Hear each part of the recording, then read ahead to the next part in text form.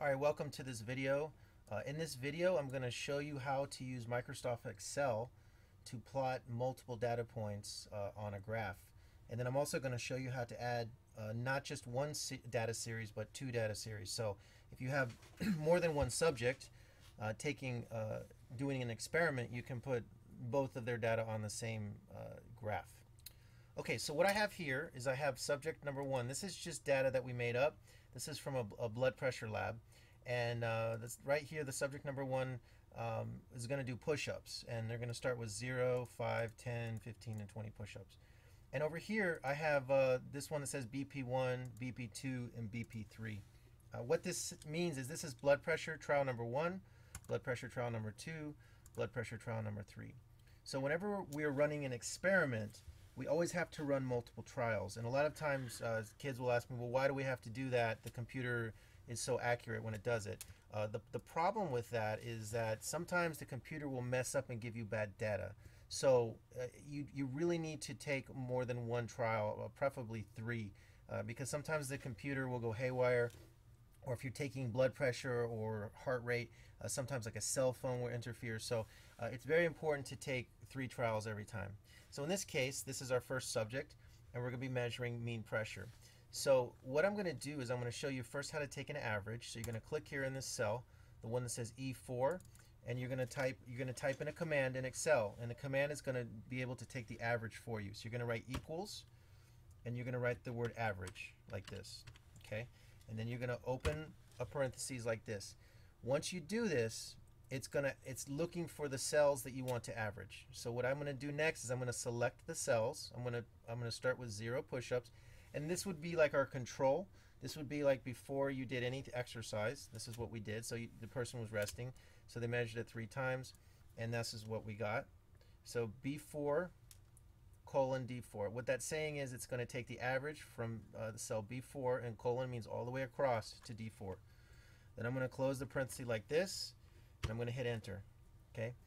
After you see that, you see that there's an average there. Uh, you may see like when you when you get your data point, you may see that there's a large number of decimals there. For example, you may have seen a number with like a whole bunch of decimals.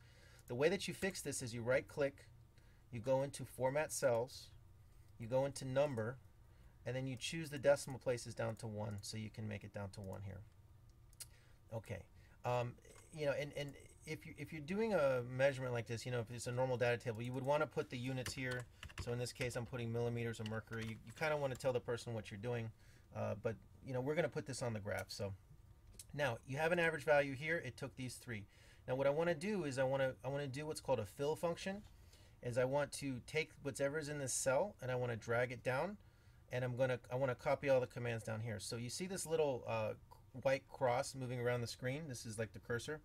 When I move it to the corner here, like this, you see it turns into like a little black uh, cross. And if I click and drag the cells down, you're going to see that it basically reproduced this command all the way down. So it took the average all the way down. So if you look up here in the window, you'll see the command, but if you look in the cell, you'll see the value. So this is the average value of the three trials we did. So we have now a value for 0 push-ups, 5 push-ups, 10 push-ups, 15 push-ups, 20 push-ups, and the blood pressure right after. So the next thing we want to do is we want to create a data table. So the first thing you need to do is you need to select the data that you want to put in the table. So you're going to go over here to push-ups, and this is going to be your independent variable, or the x-axis. So you want to click the mouse, the left mouse, hold it down, and select these cells. Now we also want to select the average blood pressure over here. So what you want to do now is hold down the control key and then click your mouse and drag it down too. So now I've selected uh, I've selected my independent variable and my dependent variable or the x and the y axis. So the next thing you want to do is you want to go up here to the top where it says insert. You want to click this okay and this is going to there's there's an area here that says charts okay when you're dealing with science graphs, you want to stay away from columns, you want to stay away from line graphs, you want to stay away from pie charts or bar graphs. This is all for more like business or more simplistic presentations. Whenever we have data in a, a science chart, we always want to do a scatter just with the dots. Okay, we don't want to we don't want to like connect the dots. And I know a lot of people want to connect the dots, but we don't know what the, what shape the dots are going to make yet. Okay, so I'm going to click this right now, and what, what you see here, the chart appears, and I have a graph now, and there there are these dots here. Now the shape that they're making is a line, right?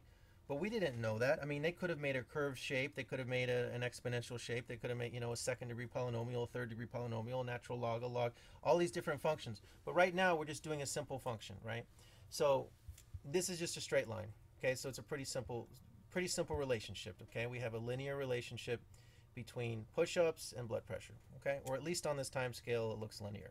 Maybe it's not over time, but okay. All right, so right now, what I want to do next is I want to add I want to add a trend line to this. In other words, I want to do a line of best fit.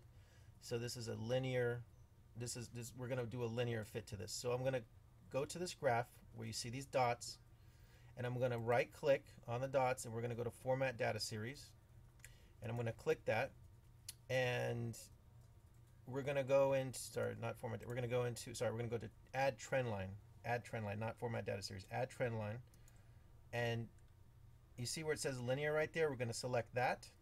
Okay. And then we're going to go over here to line color. And we're going to collect, we're going to do solid line, line style. We're going to do 1.5. Like that. Okay. So that's the first thing we're going to do. We've added a trend line now to our graph.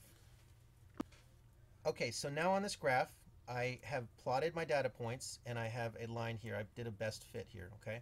So this video, I, can, I cannot go more than 15 minutes, so I'm going to have to speed up a little bit here. But let's say that you had another subject down here, and you want to create a subject 2. So I'm going to copy and paste that. And what I'm going to do is I'm going to type in subject 2 here, and I'm going to change some of the data, just so we get a little bit different. Something like 89, 94, 96, 10, you know, 10, 105. I'm going to change all this data. Okay, so you can see here on the graph that I've changed the data, or not on the graph, on the data table here, I've changed all the data points here. So we have different average values now. Okay, so I just kind of made that up just in case we had a second subject that did the same test, right? So what I want to do now is I want to add this data, I want to add this data to the same graph. So I'm going to right click here and I'm going to go to uh, add, I'm going to go to add, sorry, select data, right there, select data. Okay, and I'm going to click add and I'm going to type in for that I'm going to type in uh, subject 2 for that. And I have to select the X values so I'm going to select the X values here over here on push-ups and I'm going to select the Y values here for average blood pressure. I'm going to click here and now I've selected the values. Uh, click OK. Now notice your first data series it doesn't say subject 1 it says series 1 right? So let's go ahead and change the name of that. Let's so go ahead and there and click edit and let's just type subject 1 there so you can clearly see now that we have both of these on here. Um, so now you can see that both of these points are here, but we want to put the, the line of best fit on that red graph. So let's right click that, add trend line, go to linear, line color. We want to do a solid line, make it red just so you can see it. I'm going to make it about 1.5 and so on. So now we have our two subjects there. You can see uh, we have the two lines and they're both kind of going in the same direction and we can clearly see there's a relationship here now. There's an increase in blood pressure after we do uh, push-ups. Okay, so now I have two subjects here, right? And your graph, it's not always going to look this neat, and you're not always going to see a, a, correlation that's good, but I just picked this data to make a point. Okay, so what's wrong with this graph? Well, there's a few things wrong with it. Uh, number one, I'd like to drag this over a little bit here to make the area a little bigger, and I'm going to move this uh, legend down here. Uh, but there's still some things wrong with it. We don't have a title and we don't have axes. So I'm going to go up here to layout. I click the graph, I go up to layout. I'm going to go to chart title and I'm going to center one uh, above the, here. And then I'm going to also, I need to add my axes. So I need to add one the primary horizontal and I need to add one that's the primary vertical. Okay, so now I have a title and I have my, uh, my vertical and my horizontal title. Okay, so what would be an appropriate title for this graph? Well, typically we name the graph, uh, we name it the uh, dependent versus the independent variable. So the dependent variable here is blood pressure. And the independent variable is push-ups. And if this was like a science graph, you might say displacement versus time, where displacement is dependent, uh, time is independent. Okay, so blood pressure versus push-ups. Now let's go down here at the bottom. What am I going to call that? Push-ups right? And uh, here on this axis, I'm going to call this blood pressure. Now something's really, we got to make sure that we put the units here, okay? Because what kind of pressure are you measuring? Are you measuring PSIs? Are you measuring pascals? Are you measuring millimeters of mercury? We are measuring millimeters of mercury, right? Because this is a person and we measure uh, blood pressure in millimeters of mercury. How far up can the pressure push uh, mercury in a tube? So there you go. There's your graph. It looks pretty good, right? Looks pretty good. So we have this. I mean, you might want to just center things a little bit, but more or less, that's a pretty good looking graph. You could take this box here. You could right click there. You can format it. I could fill it, solid fill. You could go white. Okay, so there you go. That's not a bad looking graph. So now you've plotted multiple data series on a graph. Okay, so one last thing. So let's say you want to print this. Well, there's two ways you can print it. Uh, first way is you can click inside here, inside the spreadsheet, and if you go to print, okay, if you go up here to print, and you go to preview, you're going to see the spreadsheet and you're going to see the graph, right? Okay, maybe you want to print that. Who knows? I don't know what you want to do. It's your graph. But a lot of times people just want to print the graph. So you can highlight the graph. If you just want to print the graph, you highlight the graph. You go up here to print. And if I click preview, you'll see the graph okay and you can do all kinds of things. You can play with the margins and, and change things around in here but if, if you just want to print the graph that's what you can do. Or maybe you want to take this data and put it into Microsoft Excel. So maybe you want to take this table and you want to give it some borders. I don't know what you want to do. It's really your it's really your experiment.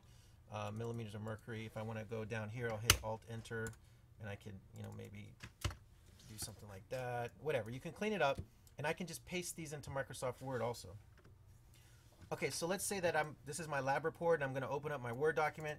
So I could come here and I could take my data, I could say subject 1, copy, paste into Word, just like that. And there it is.